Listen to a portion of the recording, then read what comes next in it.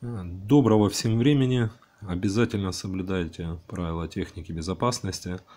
Сегодня покажу такую небольшую обновку в своей коллекции. Это пуля э, патрона 9 на 23 миллиметра Штейр. Вот. Э, по этому э, типа размеру, по этому боеприпасу есть э, видео и даже не одно на этом канале. А, вот. Э, и, и помню, э, ну, если смотрели видео, я так и не, там, не был уверен, есть ли у меня к нему пуля. Теперь уверен, пуля к нему есть. Но, правда, не австрийская, а итальянская. Вот, собственно, отсюда он был извлечен. Извлечен в спешке и безалаберности, поэтому не распилила, там кусачками кусал. И в результате, вот видите, за косорылил и вот немножко согнул. Такая немножко овальная получилась в сечении пуля. А, пуля не магнитится. То есть оболочка, скорее всего, мельхиоровая. ну, судя по цвету. А вот, внутри свинец. Завальцовки вообще никакой нет. Ну, так по ощущениям. И вот такая, на удивление, толстостенная оболочка.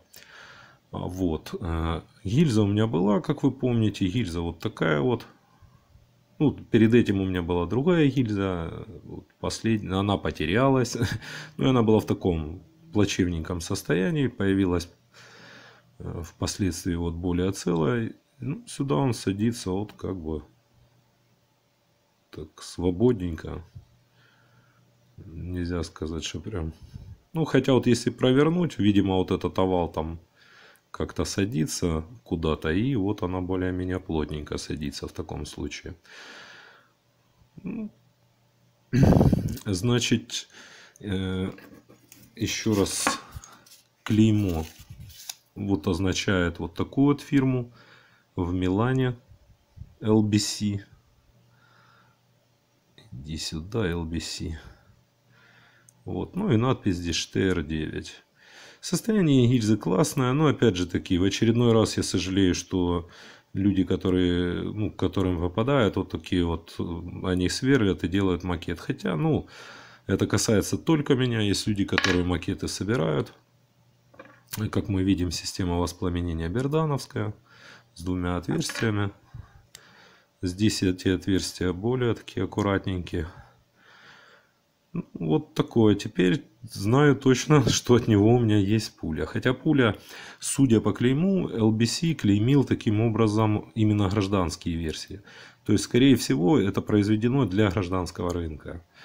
Э, почему? Потому что вот это вот, э, ну я не знаю, как правильно читается, Леон Бо, наверное, у Сиа, Исия, вот, э, военные клейма, у них тоже LBC.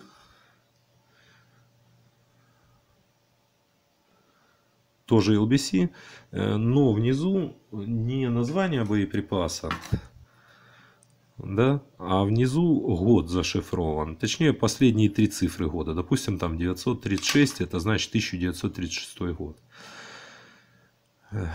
Вот для этой фирмы характерно в военных обозначениях так, э, здесь шифровать год. А вот в коммерческих, ну я нашел в частности 380 шорт револьвер, тоже LBC-шный. Э, и, соответственно, там было просто 380 выбито.